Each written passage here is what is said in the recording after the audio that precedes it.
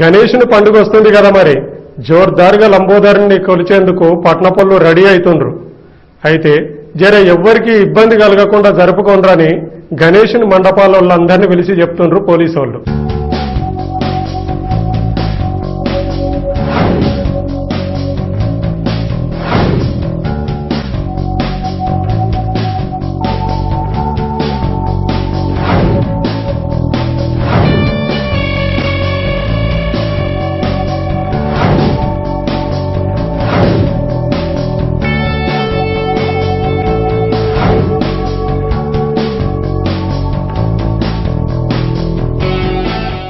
గణేష్ నవరాత్రి ఉత్సవాల గురించి మా సార్ మరియు నాట్యం డీసీ మేడం మా బయలుపడి ఇన్స్ట్రక్షన్ ప్రకారము ఈ ఏరియాలో అంటే మొత్తం అన్ని పంటలు చెక్ చేసుకున్నాము.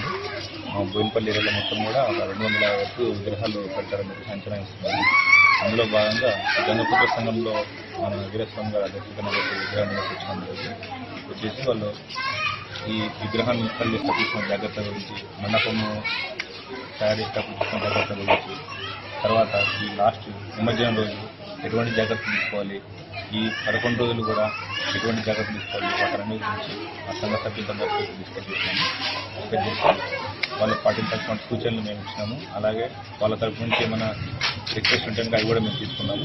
ఆ రోడ్ రిక్వెస్ట్ గురించి చెప్పారు వాళ్ళు వాటన్నిటి కూడా మేము కన్సర్న్ ఆఫీసర్తో మాట్లాడి అవన్నీ క్లియర్ చేసి ఈ నిమజ్జనం ప్రశాంతం డీజేలకు పర్మిషన్ ఏమైనా ఇస్తున్నారు డీజేల గురించి పర్మిషన్ ఇస్తున్నారు. డీజేలకు గత ఐదు సంవత్సరాల నుంచి ఎక్కువగా పర్మిషన్ లేదు.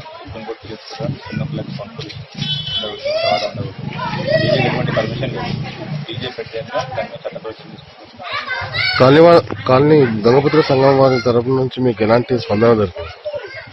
సారీ గంగపుత్ర కాలనీ నుంచి మీకు ఎలాంటి స్పందన దొరికింది? ఇక్కడికి సంఘ సభ్యులందరూ చెప్పినట్టుగా సహకరిస్తారండి వాళ్ళ తరఫు నుంచి కూడా కొన్ని వినతులు ఇచ్చారు. అవి కూడా మేము పరిశీలిస్తున్నాము.